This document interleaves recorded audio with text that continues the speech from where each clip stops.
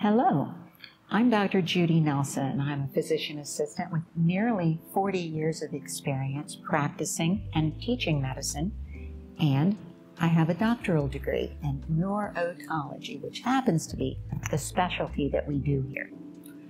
I did my undergraduate training at Stetson University in DeLand, where I studied biology and cheerleading and karate. Don't laugh.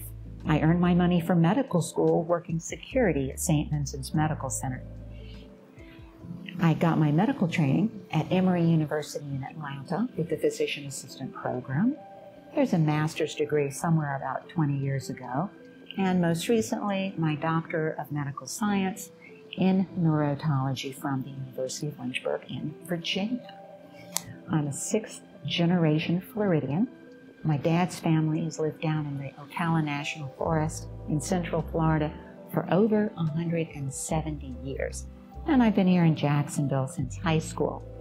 I'm not telling you how many years on that. You do the math. I am fascinated with any little critters that need to be taken care of. Now, I'm totally a dog person, but I've rescued over 200 kittens and I am afraid there might be some addiction involved. I don't have any children, but I sew clothing for orphanages in Haiti. I don't specialize in pediatrics, but I do. Um, I do get to send medical supplies and smuggle them into an, a, an infant rescue.